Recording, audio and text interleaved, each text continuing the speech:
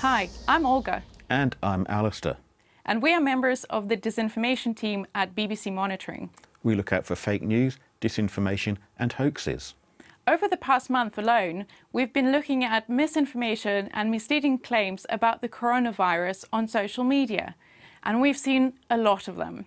Some health advice that we've seen on social media is outright dangerous, like drinking bleach, for example. Bleach. It's diluted with water, but still bleach. yeah, it's still bleach. drinking and consuming that kind of solution uh, might have severe side effects like diarrhea and very severe vomiting. Yeah, well, uh, don't drink bleach. I mean, that's the take home message. But we've also seen less extreme advice um, on social media uh, about preventive measures to um, protect yourself from coronavirus. And uh, this, this advice suggests drinking water.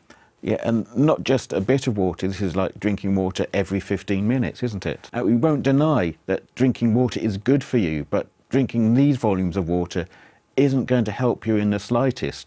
There's a technological side to the uh, theories about the coronavirus as well, Like what? like uh, 5G technology.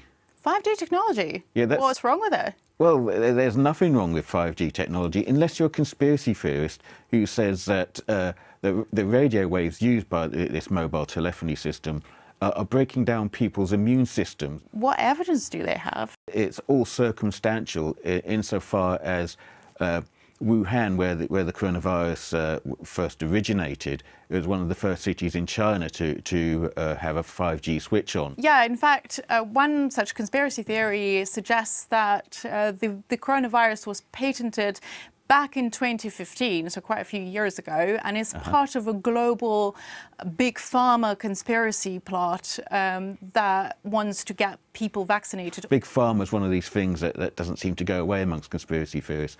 It, uh, there, there always seems to be about the pharmaceutical companies trying to gouge money out of patients. But when you look at evidence, for example, of that big pharma conspiracy theory, you quickly find out that the patent document is actually for another coronavirus, avian coronavirus. That's a completely That is a different virus completely- altogether. Exactly. It's a completely different strand because uh, coronavirus is a family of viruses and it includes the novel coronavirus. But that document had nothing to do with it. Yeah, uh, for, for some theorists, uh, details don't really matter. Another theory alleges that the uh, novel coronavirus is a bioweapon. A bioweapon? Yeah, uh, uh, people claiming that it was being created in a lab, uh, accidentally got out or, was purposely released into, into the public uh, for whatever reason is unclear. But is there any evidence to support them? Well, well, of course there isn't, but uh, once the conspiracy gets rolling, they are very, very difficult to stop.